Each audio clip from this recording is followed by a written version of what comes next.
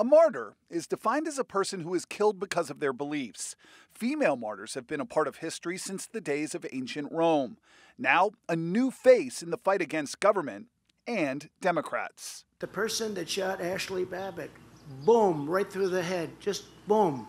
There was no reason for that. Former President Donald Trump got some of the details wrong when he recently spoke about Ashli Babbitt's death. The coroner says Babbitt was shot in the left shoulder, not the head, by a U.S. Capitol Police officer as she tried to climb through a window to the Speaker's lobby while Capitol Police evacuated senators not far away. Babbitt was an Air Force veteran and follower of QAnon who, along with thousands of other supporters of former President Trump, stormed the U.S. Capitol to try and stop the Senate from certifying the electoral victory of President Biden. And now, more than six months later, extremism experts say former President Trump and others on the far right are turning her death into a political rallying cry. Babbitt portrayed as a martyr who died for the cause. But what's important to highlight here is that the glorification of Ashli Babbitt and her death is not actually about her, it's about the narrative.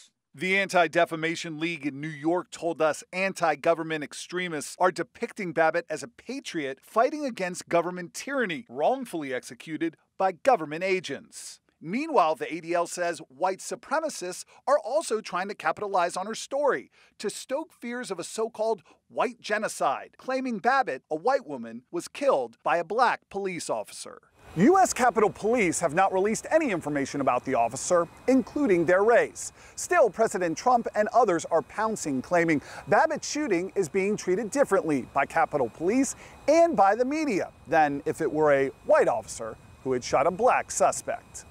And why isn't that person being opened up and why isn't that being studied? They've already written it off. They said that case is closed. If that were the opposite, that case would be going on for years and years. The Department of Justice cleared the officer of wrongdoing. We spoke to the Prince George's County attorney representing the Babbitts back in May. There was no need to shoot her. It's a simple situation where all it would take would any rookie police officer with a set of handcuffs could have taken her into custody. Arizona Congressman Paul Gosar has recently added his voice, calling for the release of the officer's name on the six month anniversary of the Capitol riots, in a statement titled, Who Killed Ashli Babbitt? An expert at American University told us in the end, all of this is just a way to downplay what happened on January 6th. By turning her into a hero, uh, it helps to justify uh, what was an unjustifiable action.